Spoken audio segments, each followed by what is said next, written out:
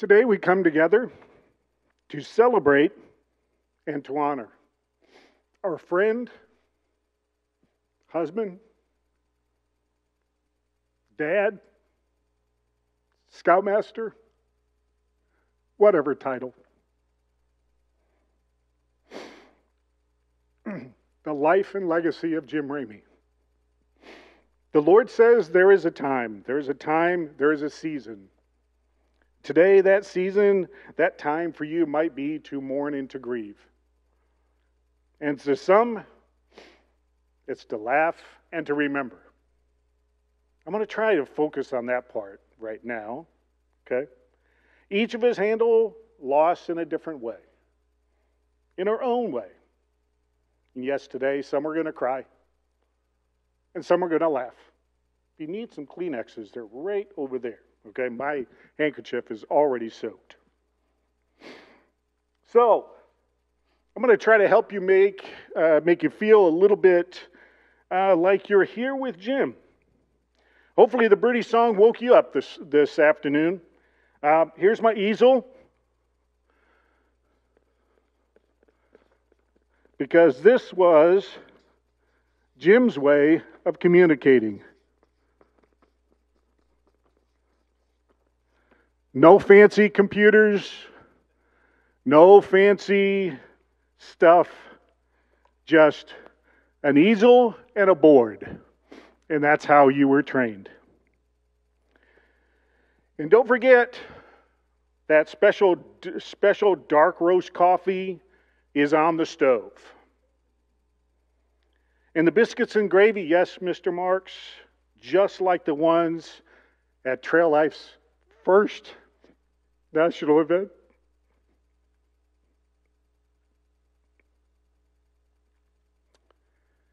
Are in the pan and ready to be served. Are you prepared for your day? Do you have your wool socks on? Have you layered up your clothes? Because you know, you know, this is the best time to camp. There are no bugs. The duty roster is done, the program is ready. Remember, don't do for a boy what he can do for himself. Oh, by the way, by the way, sorry guys, I forgot one thing. You know, we figured that it was going to take roughly about a half a ton of bacon in order to feed all you guys. So we contacted Kroger and they said you would have had to order that before the Daniel Boone. So, so I decided at least one of us should provide an adequate toast. And so,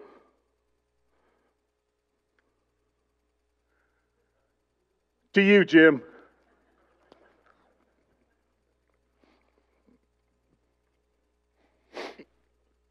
Are you ready to learn something today from one of Trail Life's founding fathers?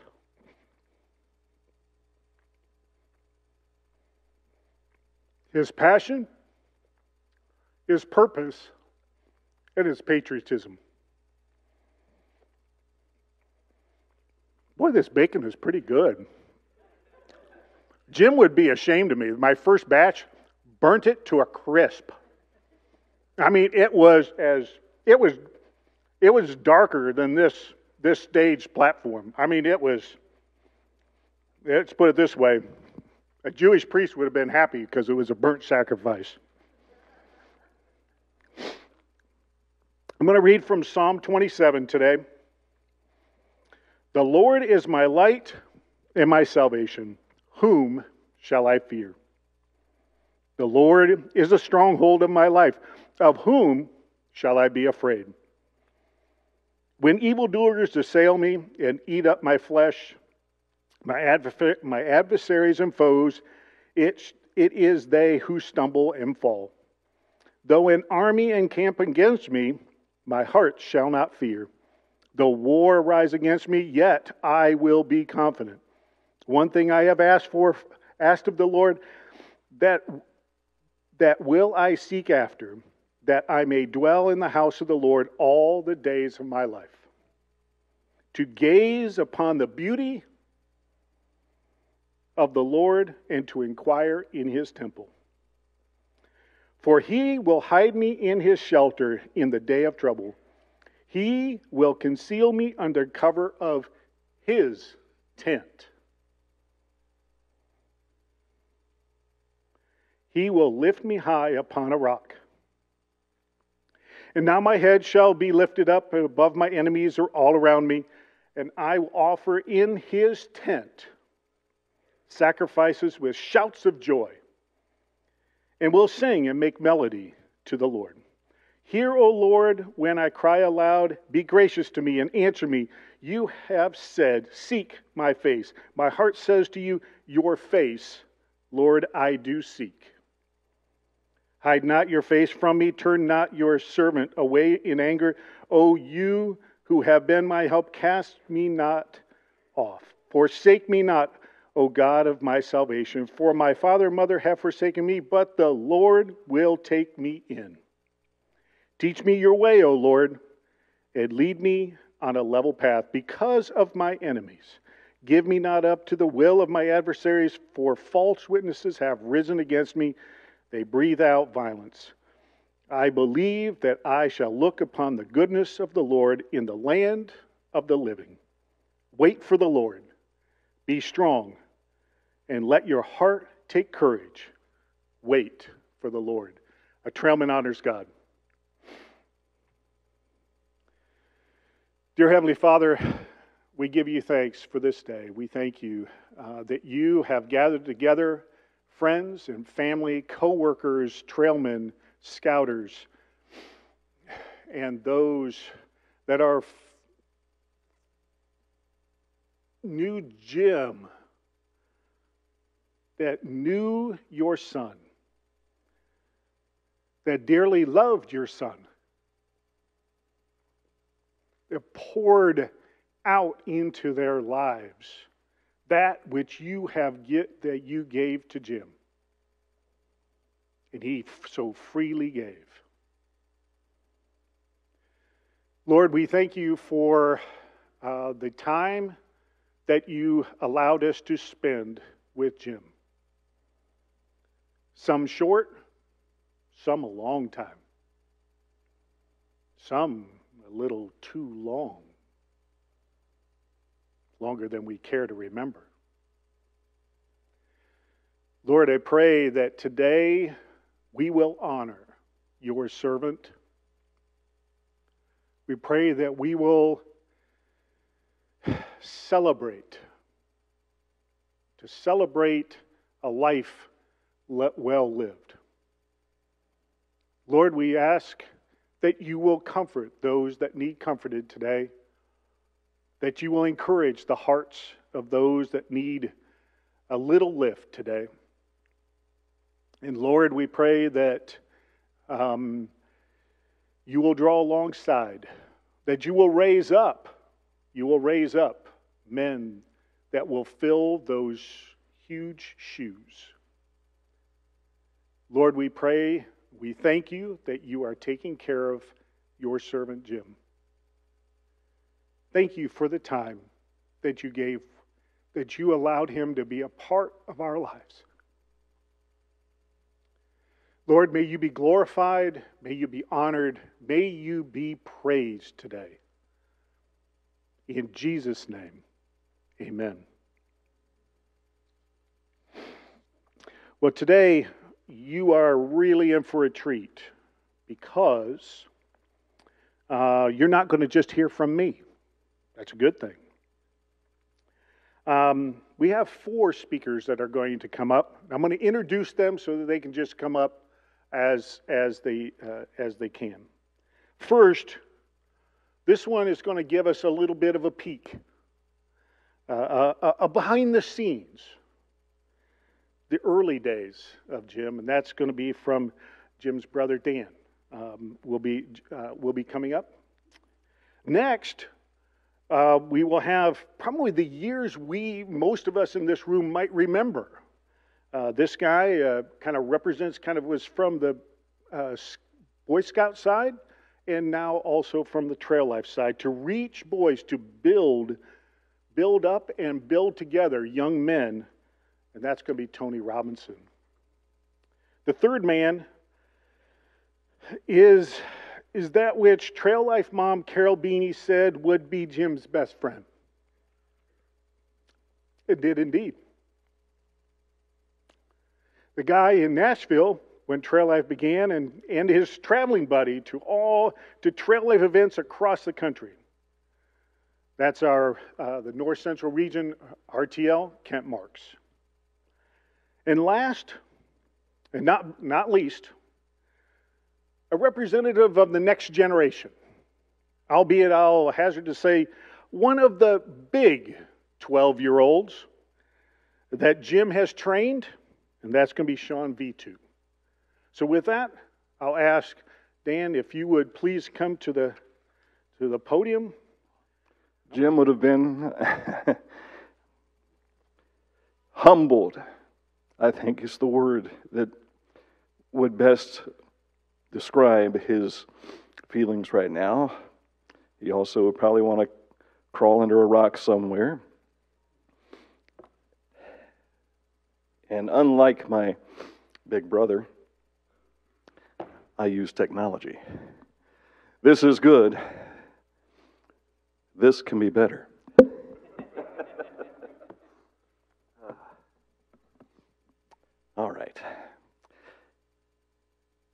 I've scripted a few things here. I'll probably stray away from it. But before we focus on who we're here to honor today, let me just take a moment and say thank you. As I look across this room, I see a number of individuals who have sacrificed their time, sacrificed for their finances in some situations, to become mentors. Some of you are probably here because of a mentor. Some are probably here for the lack of having a mentor in your life, and you decided, I'm going to step up and fill the shoes.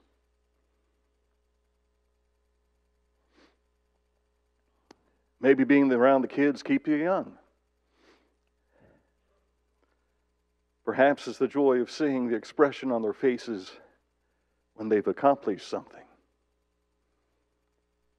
Or better yet, when they've dropped everything to help another achieve something.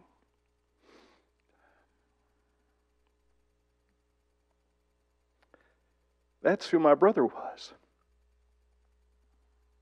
And you know that already. Teamwork. And in today's society, you realize that you may be that boy's only hope to help them find their way into this world. So let me take a moment to say thank you. Give yourselves a little applause.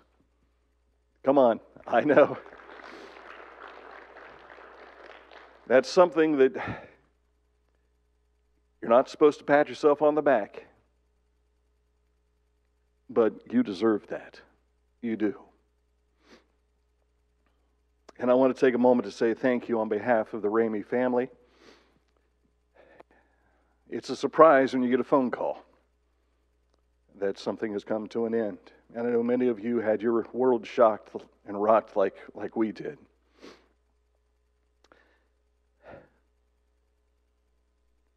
As many of you probably already know, Jim was first introduced to scouting as an elementary student up in Columbus with our twin cousins, Bob and Rodney Wilson. Bob is right here. He was one of the, in the pictures you saw up here, he, he and his brother, I called them out earlier this week. I said they were a handful Of course, I didn't know because I was 10 years younger than you guys. But that just should say it all. The story is they were a handful. That's what I found out. Dad was a troop leader. Mom was involved with the Brownies. Sister Deb, she was a Brownie. Jim was 10 years older than me. Deb was nine years older than me. Mike was eight years older than me. And Mike was always in all the pictures we saw of the Brownie troop. So from that moment on, as legend has it, Mike never made it to the Cub Scouts, Boy Scouts. He was a Brownie. he has lived with that joke most of his life, but he is a Browns fan. So and he likes to eat brownies too. So that may be something you didn't know. I, I wanted to share some things from Jim's eulogy. Some of you that might have seen the service online, uh, you've probably already heard this, but for the sake of those that have not, always be prepared, by the way. All three of my siblings are pillars in my life.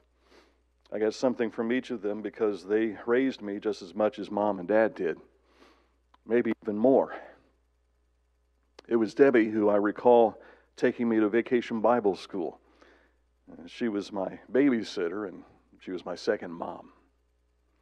Through Mike, the closest thing we had in the family to an athlete, uh, I learned to enjoy sports and to find fun in life, even while working and even while things are tough. But through Jim, I learned servitude. As I've told Jim's boys, all the stuff that he taught them and all the kids over 40 plus years of either Boy Scouts or Trail Life USA, I was Jim's first project. See, Jim didn't get married until he was 26, and Mike and Deb had flown the nest already, and that left Jim and his little brother. We did stuff together. We would go to National Trail Raceway. He'd take me to the races. I even got to sit in the stands and watch him race when mom and dad weren't supposed to know he was racing. and they wouldn't have found out because he said, Don't you tell mom and dad. But had he beat the GTO with the larger block engine that he was driving, I wouldn't have said a word. but he kept getting beat by the guy, and I said, Maybe if I talk about it, He'll win one of these days. I don't know that it ever actually happened. Uh, he took me to the Air Force Museum in Dayton, taught me how to hunt, even bought me a shotgun.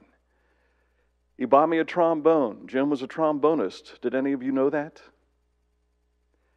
He had a trombone. When it came time for me to start playing, I got to use his trombone. And it was really cool because I got to carry the case, and on the case, he had, do you remember Budman from the Budweiser days? We're talking late 1960s. Budman was a superhero, leotards, the whole deal, and he had a big mud, a mug of suds in his hand. And he was on that trombone case. And I thought it was cool to get to walk around school with my trombone case with Budman. Well, Jim eventually bought me a brand new trombone. I still have both the shotgun and the trombone today. They have served me well, and it's something that my big brother helped me to understand how to use both. That's just the kind of guy he was.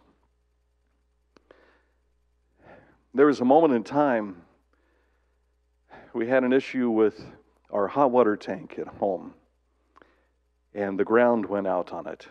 And Jim had forgotten about that. And if you were sitting in the tub, you reached to turn off the water, you'd get you would it would get your attention. I'm just going to tell you that. It got Jim's attention too much one day. My bedroom was right on the other side of the wall from that faucet. I heard a body slide up against the wall Water went splashing everywhere. And all I could hear was, Turn it off! Turn it off! Turn it off! And I'm like, What? And I burst into the bathroom, and he says, The circuit breaker. Turn it off.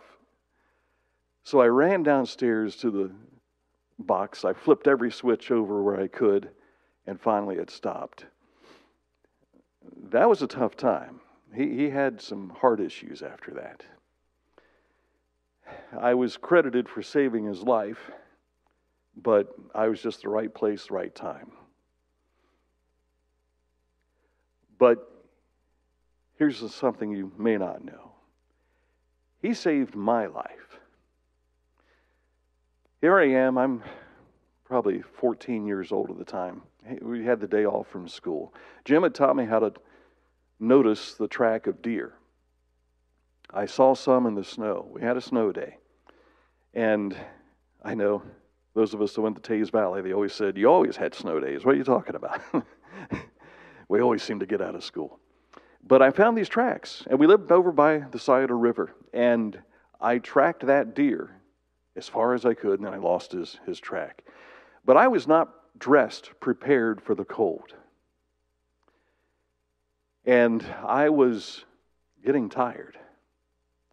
The hypothermia started kicking in. And I knew I needed to find some shelter because the wind was blowing, it was cold. I, my fingers were getting numb, my toes were getting numb, and I just found a spot. I curled up, thinking, I'm going to let this pass for a little bit. Then I almost lost my consciousness. I felt as though I needed to sleep. I closed my eyes, but what I could hear was a faint voice in the distance Danny! Danny! My brother had come looking for me. And he got there just in time. Yes, he told me everything I did wrong on the way back to the house. But I wouldn't be standing here today if not for Jim. Tony had called me after Jim had passed, and we were talking about it, and he said, Dan, I want you to know Jim was our cold weather specialist. Jim never said it, but I have a feeling because of my experience, he wanted to prevent something like that from happening to one of you out here.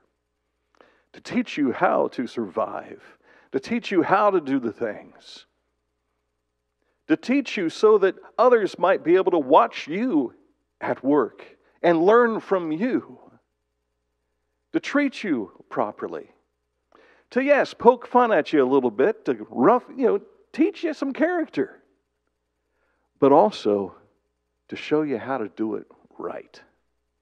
One of the pictures you didn't have, and I, I hope one day we can share it with you. I, I don't have the photo, but my brother Mike is drinking a bottle of Pepsi. He's about eight years old. Debbie, who's about nine, is next to him, messing with her zipper on her jacket, I think it was. And then there's Jim wearing his scout uniform, at least the shirt up. and he has this look about him like this, telling Debbie, certainly, you're doing it the wrong way. So this has been in part of Jim's life all along, but he would show you how to do things, to do it right, so that you would learn, so that you could pass that along to the next person in need. I'm grateful for having had Jim as my big brother. And I know there's a number of you here who have no doubt experiences that will last a lifetime, all because of Scoutmaster Jim.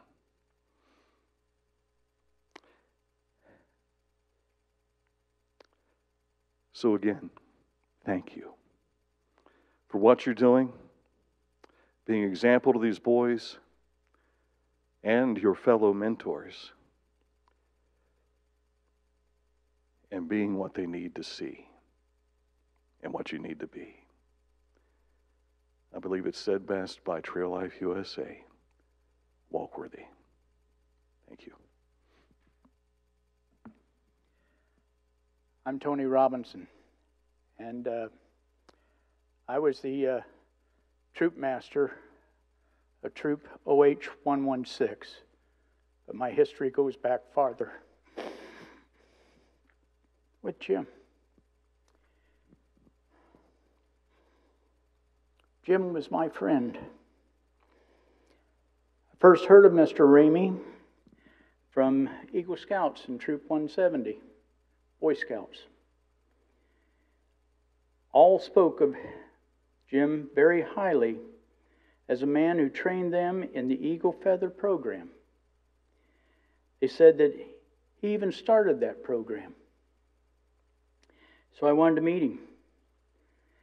The district had a camporee at Tar Hollow State Park in 2011. We were camped about halfway down the hill. Tom Leach, another friend, was camped across the valley from us.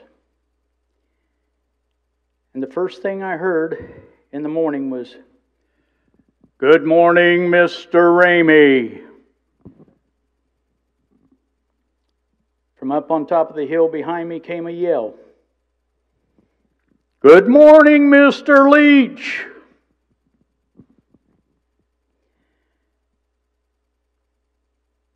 I knew that I had to meet Jim Ramey, the Jim Ramey.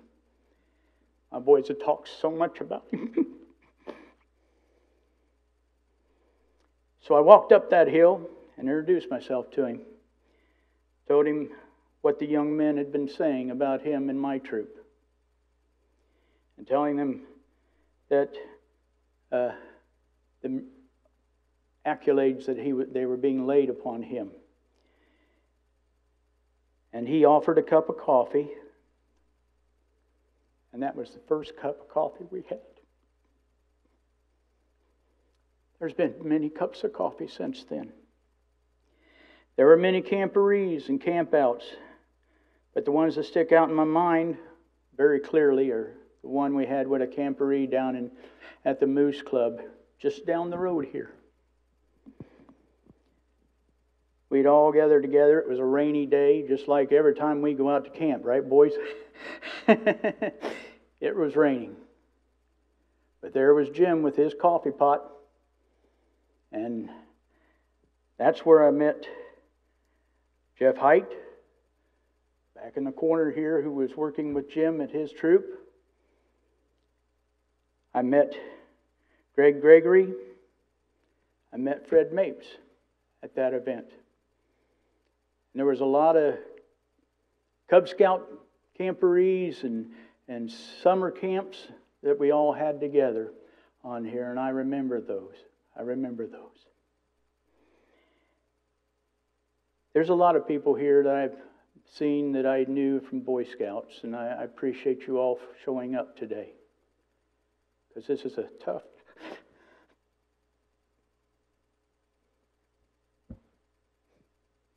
a tough time. Jim had one of the busiest campsites going, and he still did right up to the end. If you wanted a cup of coffee, you walked over to Jim's place. Jim had that coffee potty on, coffee pot on. The last time I was with Jim, we were sharing a cup of coffee. He was underneath a tarp. I got up about five, and he always did too. I walked over to Jim and I says, It's been a good camp out. Jim says, Yes, it has. He said, uh, Got the coffee pot on, you want a cup? And I said, Yeah. You know I do. And he says, I don't know why I asked that. I knew you would too. we always shared that cup of coffee. That was our go to. Jim said to me that uh, we had uh, coffee going and we got up. Jim wasn't feeling well that morning. I could tell it. And we all knew it. We all knew it. We tried to take care of Jim. We really did, Rita. We tried to take care of him. Another camp out that comes to my mind was when we were all camped up at Hugh Dresbach's camp, uh, up at his cabin. And uh, Jim was up there on top of the hill, and I was down at the bottom of the hill with Troop 170, and I looked up on the hill, and there's Jim's big red truck. If you know Jim, that's that was Jim. That was Jim. Jim came in late that night with his troop. Don't know if you, any of you boys remember that or not, but it was a late evening. You came in. We were going to do the winter hike. And we've done the winter hike every year since then.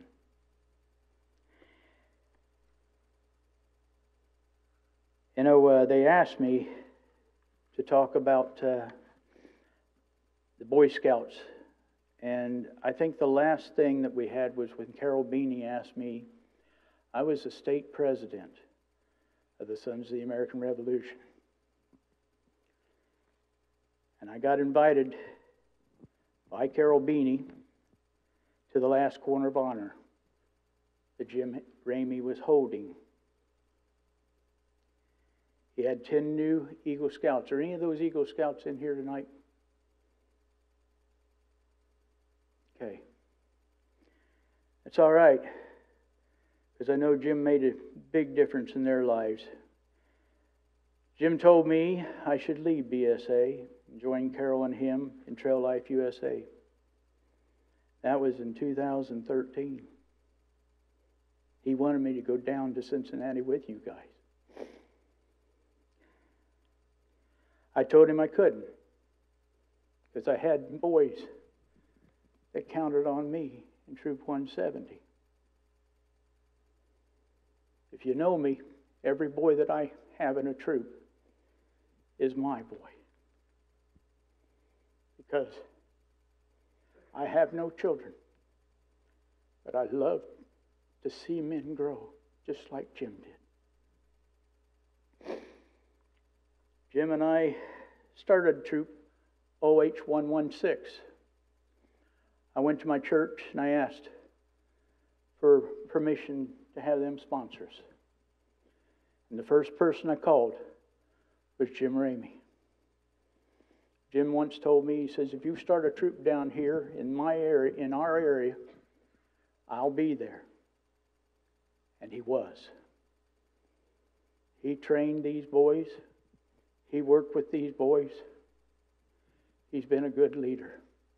He was our committee chairman. If you've been on the committee as a chairman, you understand the responsibilities there. He worked hard at it. From that point on, Jim and I did a lot of camping together. We did a lot of planning together.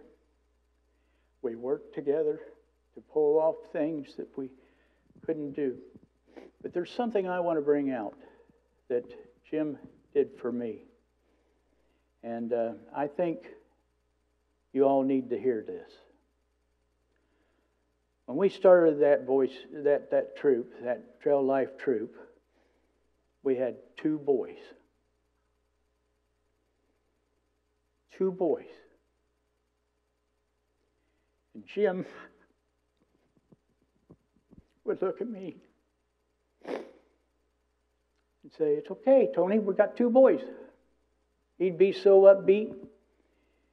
And when it all came out, I got to the point where I was becoming discouraged. I'll be honest. I'd started the troop, but I became discouraged to the point where I said, Jim, what are we doing this for? We're banging our heads against the wall. We've only got two boys, and we're not going to get anywhere this way. And Jim, in his teaching way, said, Hang in there, Tony. Don't give up. Don't give up. If we can have only one boy, one boy, we'll hold a meeting.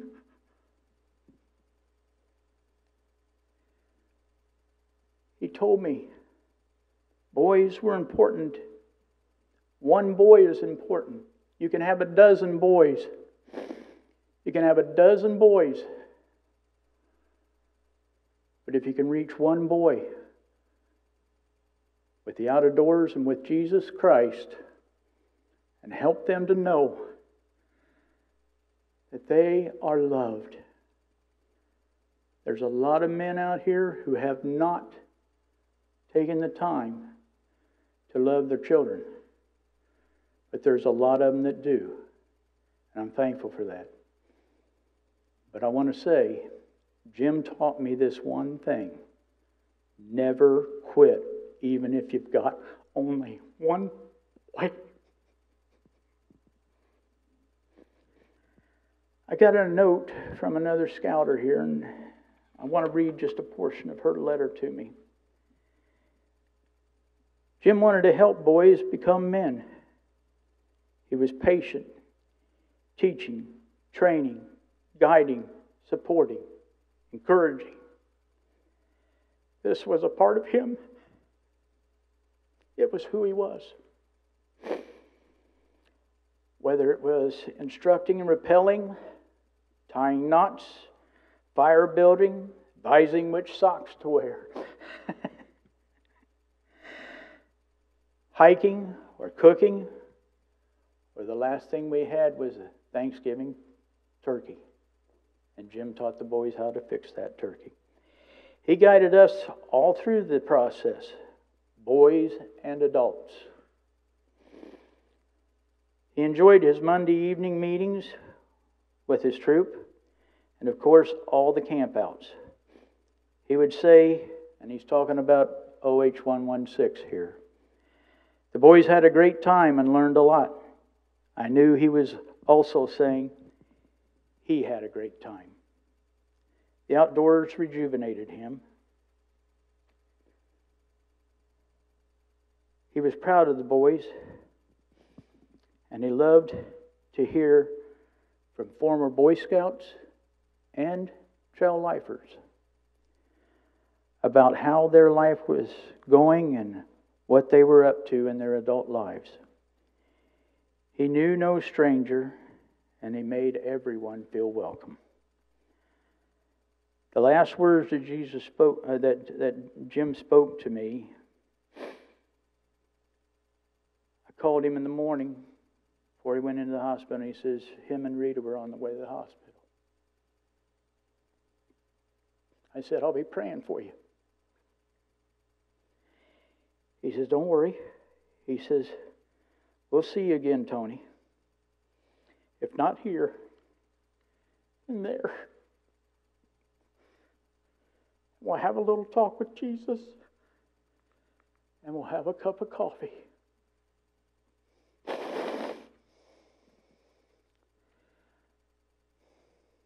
Jim was my friend. And I'm very happy to have known him because he taught me so much. And I thought I had some answers for boys, but Jim taught me a lot. Thank you. Hello, folks. I'm a better man today because of Jim Ramey. Anybody else? Yeah. All right, so uh, I'm going to I'm to give a couple quotes here. This first one is from Tim Tebow. I'm sure you've heard of Tim Tebow. Man stands up against uh, what society's thrown at him, and I I, uh, I, I really appreciate uh, anything Tim Tebow does. This is something Tim Tebow sent out the other day. One of the greatest things we can do in life is influence other people for the better.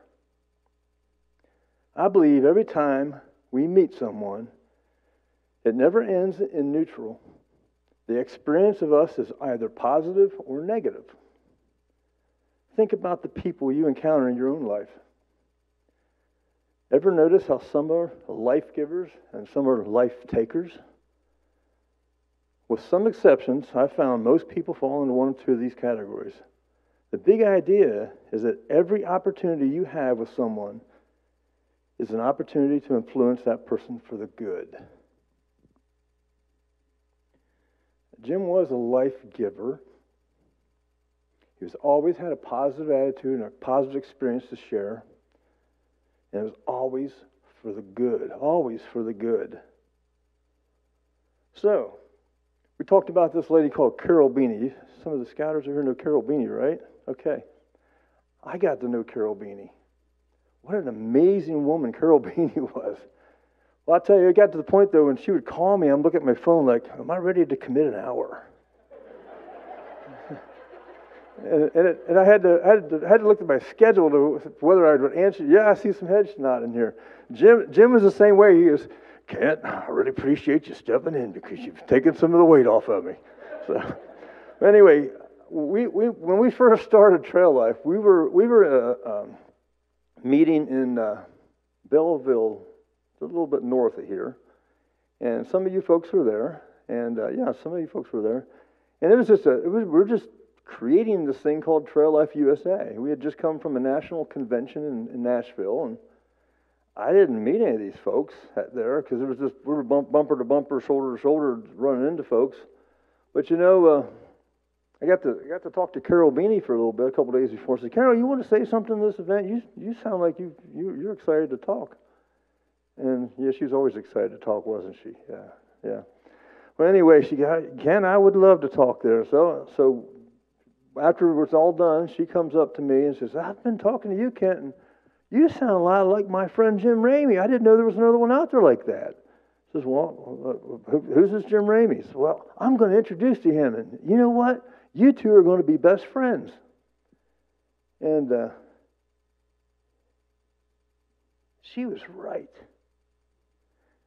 I can count four best friends. My wife's one of them. Jim's on there. I have four that I can count as best friends. And you know how many best friends I have today? I still have four. He's always, always going to be my best friend. That doesn't come lightly with me because uh, I, I, I set a high bar to, to, friendship. But Jim, Jim was one of those guys. But Carol, Carol, uh, she set the table. Anyway, we go to this first camp out. We set to the first camp out in uh, Hocking Hills. I can't remember when it was. Somebody's got a patch that says it. But anyway, um, we, I had talked to Jim on the phone, and said, I love his voice. Well, you guys got great voices in your family. Yeah, he, he has a deep voice, you know, Jim Ramey. Yeah. So that would sound like Jim, didn't it? Well, anyway, um, I walk into this campsite. It's where the staff was supposed to be camping, and I walk in, and I think it was like in the morning or something. I can't remember what it was, but there's this guy over there. He's got this awesome looking kitchen set up he's got these big fry pan skillets, and he's baking biscuits in a skillet, and he's whipping up, throwing some flour, and he's, he's not he's not measuring cup and anything like that. So he's just yeah, it's good enough, and a little bit of this, and he was making sausage gravy. Now, if you see my physique, I'm a sausage gravy and biscuits fan here. Okay, so so I tell you what, that that was a good start meeting Jim Ramey, and uh, Jim. Uh, we, we hit it off immediately. Yeah, so so I wanted to tell you about the biscuits and gravy because that's been our thing from from the from the get go. We've always share stories and we always go back to the biscuits and gravy. But um, definition of a friendship is a, a true friend has your back no matter what. Isn't that right? Okay. They watch out for you and ensure you are not in danger. And a true friend will always have your best interest at heart. That's, that's the truth. I can hear Jim right now. Y'all quit fussing about me. Can you hear him? He, would be saying that right now. He says, Why are you all doing this? But the true friend that Jim is, he, he would say that. He would say to Kent, It's not a good idea. You don't need to be doing this. But yes, it is. This is so important to celebrate Jim Ramey's life. Uh, Jim Ramey has passed on. Jim, Jim is now, now with, uh, with the Lord. And he's with Carol, and she's probably talking her, his ear off. I remember one time was Marty Huffman. I don't know if Marty's here or not. Is Marty here? Maybe not. But anyway, Marty Huffman and I were we were driving to Knoxville, Tennessee for a Trail Life event. And you know, in Trail Life, it's a lot different than Boy Scouts. I used to get upset as a district chair that I had to drive two counties to go to a council meeting. Now we we hop on airplanes and fly or, or drive 10, 12 hours at a time to go to some meeting. It's a lot different. But but we were driving to Knoxville and I called Jim. Jim had Carol Beanie riding with him and and. Uh, um, I said, Jim, I said, Jim, how's it going? He says, she's sucking the air out of the cab. and and and, uh, and it was just so it was just so so funny to hear that because Carol was talking to Zero, but you know it, that was a friendship there too. But he would say, "Quit fussing about me today." You know, we had this we had this team of folks that uh, right from the beginning we decided that we were going to do anything, anywhere, and go do anything, anywhere to help Trail Life and help the help the ministry, help ministry to these young men. And you guys know who you are. There's a Go team. It's called the Ohio Go team. We didn't create it; it just happened. Jim was one of the original Go team members. Anybody needed something, we would get in our vehicles, and I, I don't know, where's Jim's wife? You know, every time we'd call, Jim says, I'm there. I'm sure you were like, okay, Jim, you're going to leave again. My wife looked at me and she says, well, you, you guys going to, you going to West Virginia now? Or, but, but, you know, the support of the spouses is amazing. And we so thank our spouses for for supporting us, for being the go team and going anywhere to help Trail Life. Because when we started Trail Life, we made stuff up. There wasn't, there wasn't any documents that you had. And Jim, Jim was part of creating a lot of those documents because he brought his skill set and he brought his knowledge and his, and his giving. He brought all that to this new organization called Trail Life USA. And, and, and his, his, his ideas and his suggestions are stamped all over the place. Heck, his pictures in the, the latest handbook like three or four times. So that's, that's impressive. Um, but the Go team, we would go to Knoxville, Tennessee, Nashville, Kentucky, Georgia, Illinois, Pennsylvania, Indiana. We went to New Mexico. We drove in a box truck to New Mexico. 21 hours. That was dumb. That was really dumb. But we did it. It was. You ever drive in a box van? The, seats are straight back. There's no. There's no comfortable way to sleep. Fatigue actually takes over. And Jim, Jim, I look over. Uh, you saw the picture of Jim sleeping. That was one of our things. I took that picture, but he's taking pictures of me sleeping, and I really look stupid. But we would, we would, we would use that against each other. I'd say, "You better change it, or I'm going to send this picture out." Well, Jim, I got a picture of you too. It's just a fun little thing. We just loved it. But uh, know, we go everywhere, and and Jim is Jim was there almost all the time. There's times he couldn't because he had the responsibility of family, the responsibility of his job, and and we, we all understand that. But you know, one of those other phrases that Jim and I would we'd we'd, we'd uh, share all the time, and it's usually when something went, went awry or had to be changed a little bit or had a little difficulty, or we just make fun of each other. We'd say, "There I was." and then we we tell the story. Some of you guys have heard the "There I Was." I'm right. Yeah, some of you. Okay. Phone calls.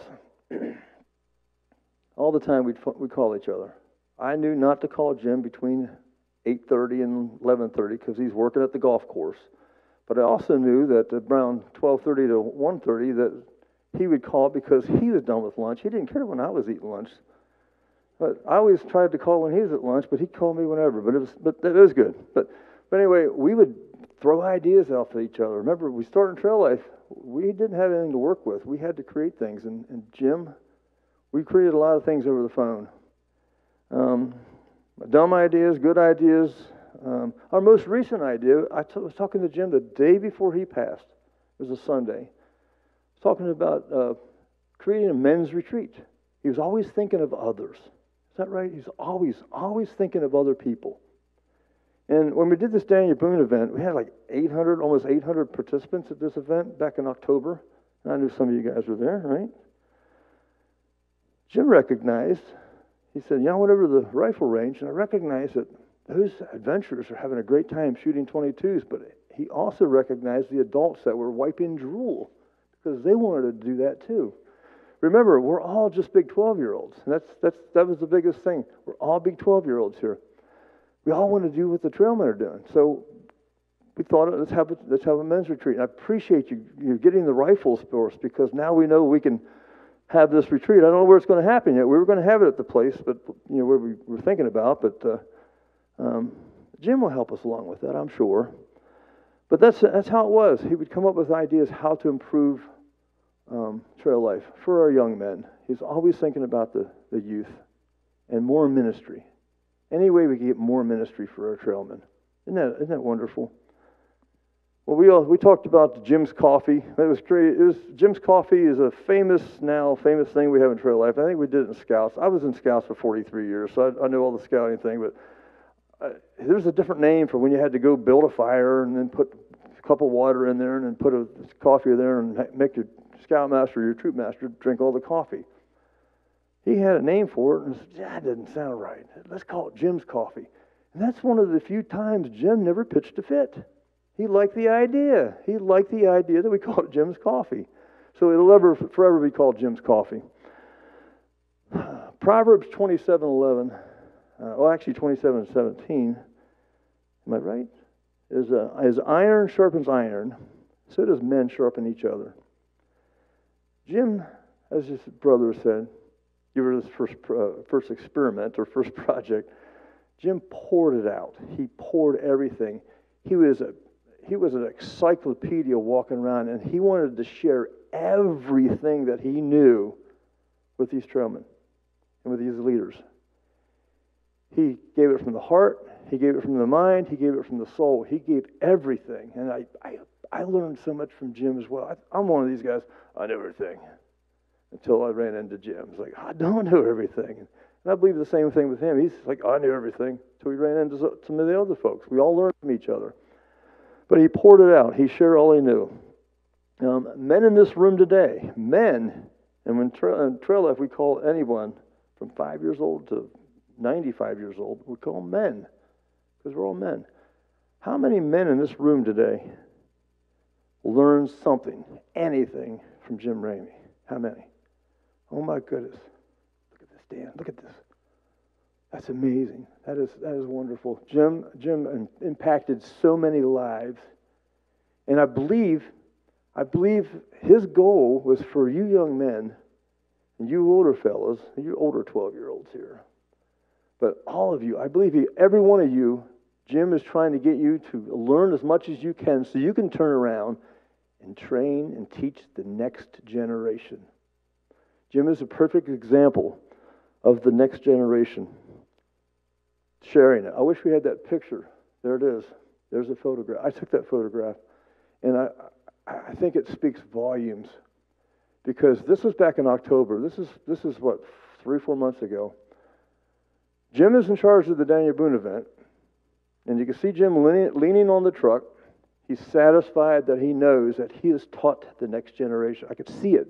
He's looking away. He's not looking at Eric. He's looking away. He knows that it's in good hands. He's got a relaxed stand to him. He's leaning. Jim doesn't usually do that. He's got a relaxed stance. And Eric is the next generation, and he's standing next to Connor French, who's a, who's a trailman. This is what we need to continue to do in trail life, and this is what Jim wanted everyone to know that at some point, you, you, you, and you, and everyone else, we're all going, going to pass onto, onto, the, onto heaven. We are all going to pass. But as we go, we want to share and teach and get prepare the next generation. This is the same thing for parents out there. He's the same way with parents. You want dads, dads, hang out, hang out with your kids. Do whatever you can. Don't put them aside. They grow up too quick. He knows he had he had had kids.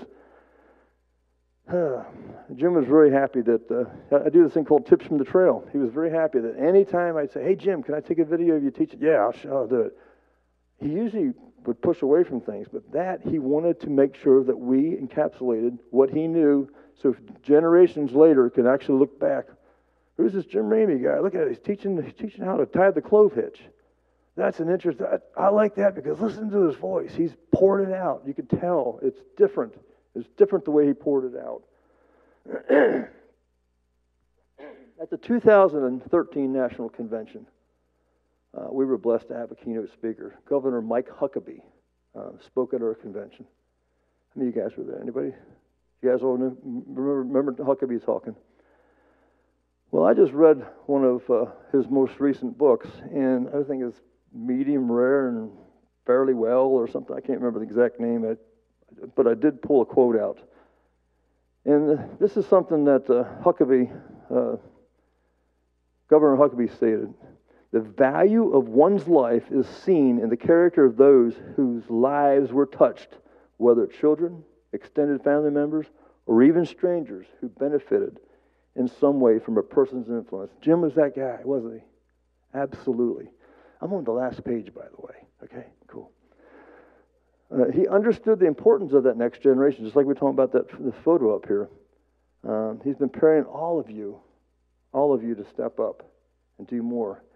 And he, he talked about he talked to me a while back. We were sitting, I don't remember what it was, but we were talking about the tank. Do you ever have anything left in your tank? If you don't get, if you have something left in your tank, you're not giving it all. How many, guys, how many young men out here are distance runners? I know I talked to one. Of we talked today about. Do you have anything left in your tank? You said yes. Never leave anything left in the tank. Pour it all out. Have it. Have, just pour it all out because if you run out, someone's going to pick you up anyway. Okay. And that's that's what that's what Ramey said. He never wanted to leave anything in the tank.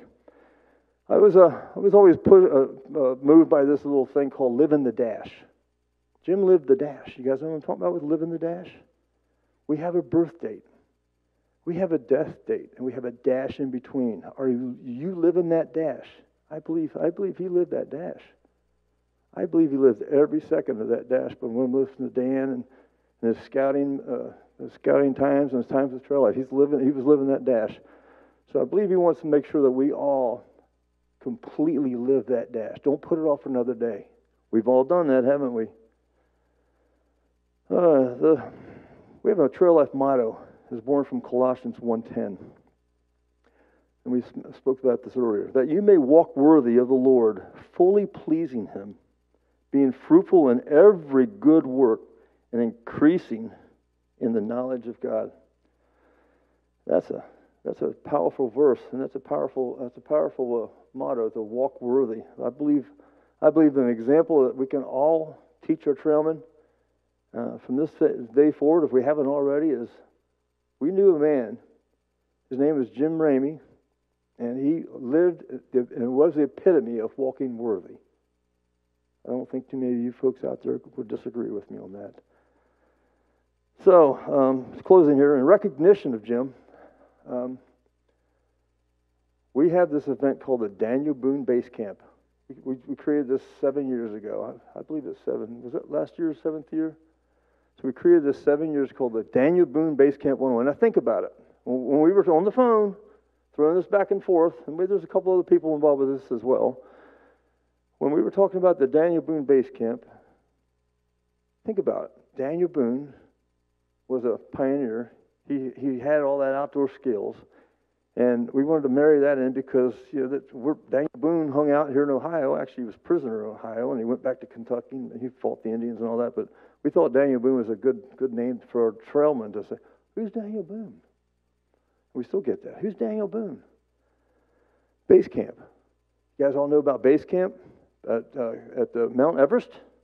Base camp Mount Everest. You got to go there and hang out for three or four weeks or whatever just to get acclimated. This is the acclimation camp. This is where we want you to come and learn the base camp skills. And 101 is basic. We want you to be basic to learn the basic stuff the camping, the cooking, the fires, the, the knife, the, the, all the other stuff that comes with it. But Jim took this project called the Daniel Boone Base Camp, and he made it. He made it the way it is today. We had how many? Almost 800 participants at the last one during this COVID thing. This is the most amazing thing we've ever experienced. Uh, a few of us leaders got together and felt that it was important that from this day on it's going to be called the Jim Ramey's Daniel Boone Base Camp 101. Now, when you go out there today in this uh, in this reception area, you'll see this big, huge log that was cut out. We've got this, we got his, his his name on there with the Daniel Boone. We would like you to sign that, and we're going to take that every year to Jim Ramey's Daniel Boone Base Camp and set it out for any future, any new trailman that shows up, that they get to sign it too, and they get to say, "Who is Jim Ramey?" And Jim Ramey's name is right next to Daniel Boone. That's pretty cool. I don't care who you are. So. Anyway, um, there's also, if you'd like to make a donation to a, uh, a scholarship fund for training youth in trail life. Uh, we've already collected over $4,000, and it's really amazing. And we're going to put that to good use. So if you feel compelled to, to be part of that, there's a, there's a basket out there. I want to thank the church here. I want to thank everyone. I want to thank all of you for taking the time to be here. And I know a lot of folks could not be here, and they were they want to watch in. I believe we got this on video. So Thank everyone for everything you do. Pour it out. Pour it out. Give it all. Don't leave anything in the tank because that's what Jim wants you to do. Thank you, folks. I'm Shawn Vitu, and Rita, I'm one of your Trail Life sons. And I want to thank you for giving me such a great Trail Life dad.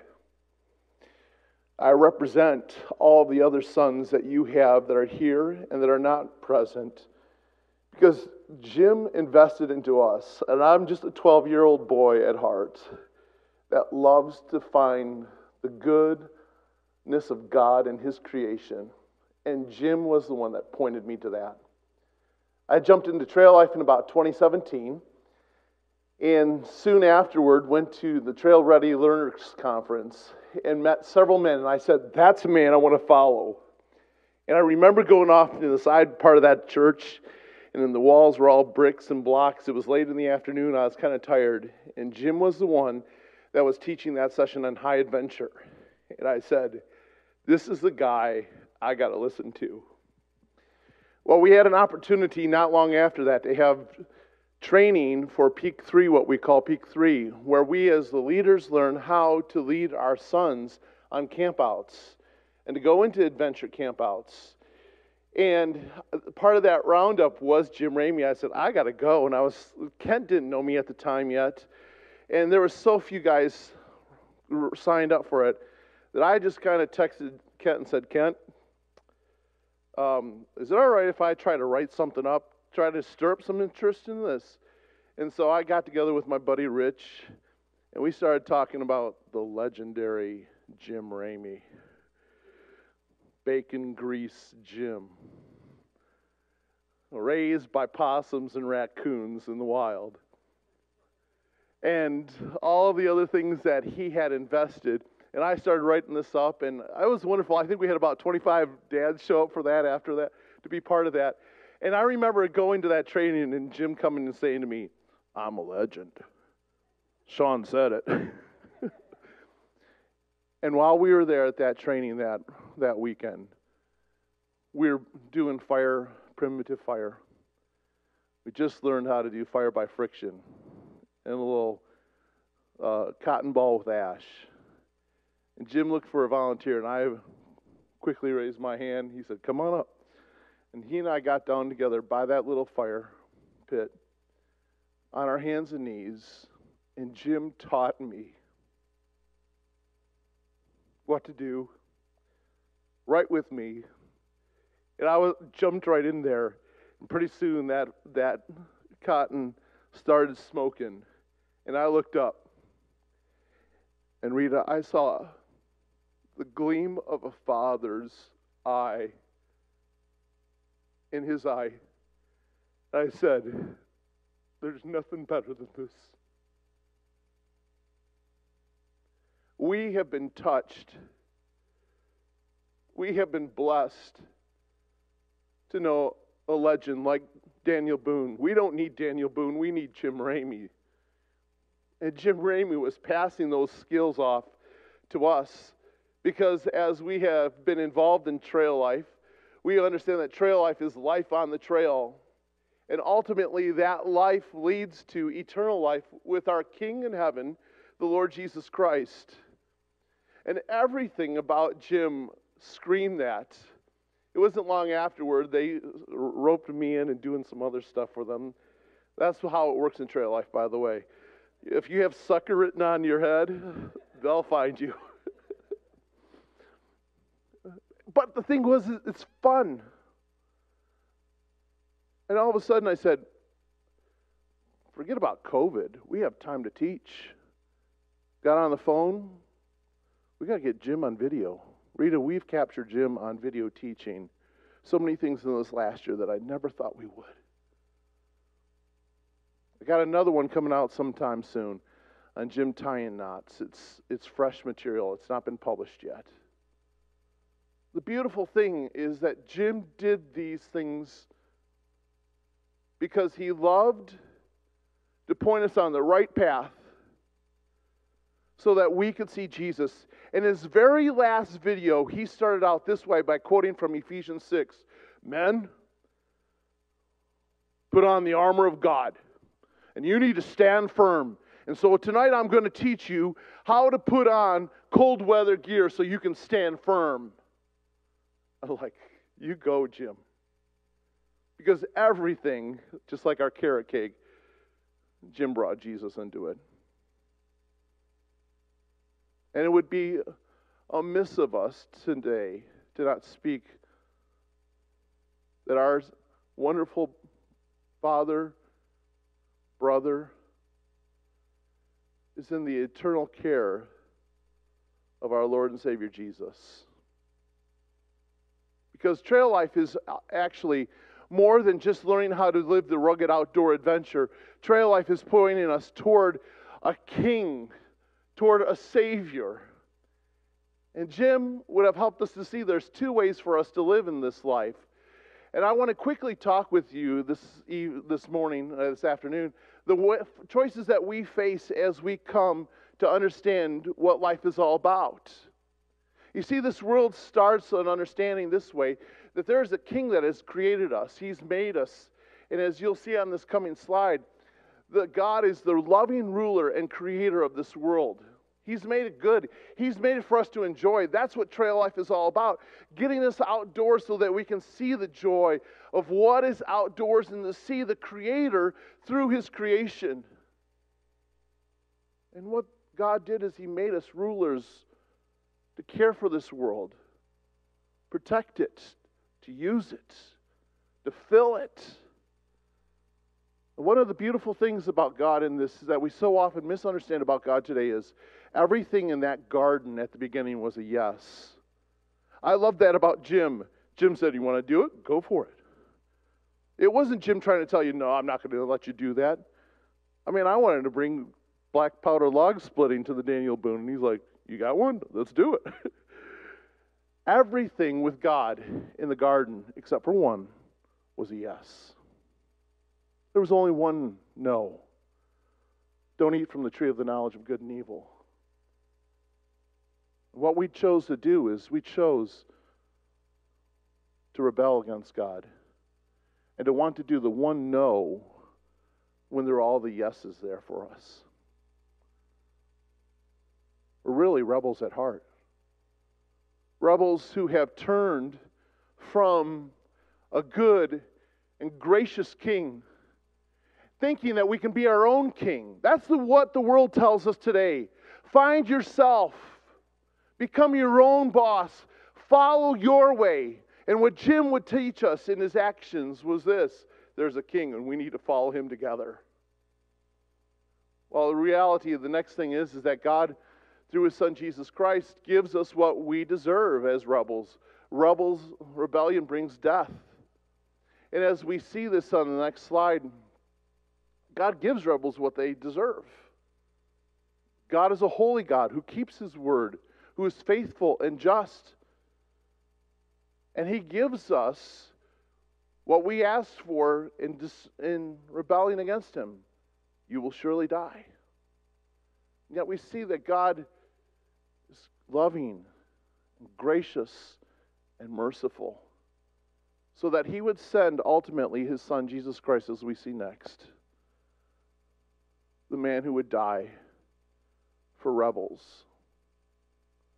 The man who would come in the image that we could understand of our own flesh as God, very God.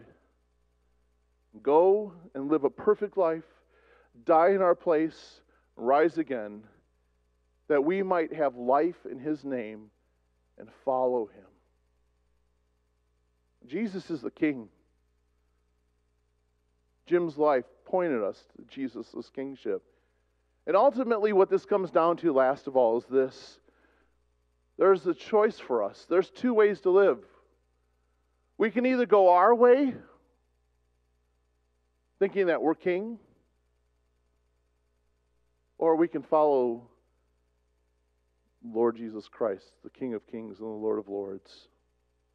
He calls us to follow him and to be his children. Jim exemplified that for us in his life. Jim was a man who lived his faith boldly. If you saw his post on social media, he was not afraid to speak of his faith in Christ. And Trailman, can I say this about Jim? more importantly than learning how to make a primitive fire, more importantly than knowing how to rappel, more importantly than knowing how to fire a 22, is do you know who is your king and are you following him? Because of the freedom that he found in following our Lord and Savior, we now know that our brother is enjoying the greatest freedom he has ever known in the presence of our Lord and Savior. The place that we someday can be with him as well. And he would challenge us, I think, in these three ways by how we watched his life. Number one, he would say to us, following Jesus Christ is so important. And as you follow him, that gives you, as men, the ability to act like men. 1 Corinthians says this Be watchful, stand firm in the faith, act like men, be strong. That was what Jim encouraged us to do. As we think of this this, this evening, I challenge us to re- realize the opportunity that we have to stand firm together. If you look closely at the bookends of 1 Corinthians, it begins by saying, I really couldn't treat you as adults, but I, as immature as babies. But by the time the book ends in the last chapter, chapter 16, we go from immaturity to maturity. Act like men. Secondly, as we follow the King, we follow Jim. We can be imitators as Jim imitated Christ to us. Kent spoke of iron sharpening iron. We are to walk worthy together. We are to sharpen those around us. As we follow Jesus, we leave a trail for others to follow. Act like men. Follow me as I follow Christ. And lastly, fight the good fight of faith. Do not hold back. Give it all. Take hold of the eternal life to which we're called. 1 Timothy chapter 4, as the Apostle Paul is ready to go to be with his Savior, our Savior, as Jim has, he said these words I have fought the good fight. I have finished the race. I have kept the faith. Henceforth there is laid up for me the crown of righteousness, which the Lord, the righteous judge, will award to me on that day. And not only to me, but to all who have loved his appearing. Can I say to all of us, on behalf of Jim, the whole purpose of trail life is to see that we have eternal life in Jesus. To find that He is the way, the truth, and the life. Why do we act like men? Why do we pursue following other men that we find great examples in? Why do we fight well? Because there is a trail that we know that we need to follow. And our dear brother has plowed it before us. I'm 50 years old this year, guys, but I'm only 12 years old at heart. Believe me, I like to blow things up too. I like to see things go woof. My name should be Pyro. Trailman, you have a legacy to follow. A legacy in Jim as he poured out his life to follow Jesus. And he's passing the baton to us today. Will you take it? Will you take and say, Here's the opportunity. I have left this life. I'm waiting for you on the other side. Lead others like I have led you. Amen. May that be our heart's cry.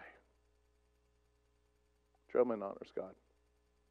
Father, we thank you for the joy that we know that as your children to be absent from this body is to be present with the Lord. Thank you for the faith that you have given Jim.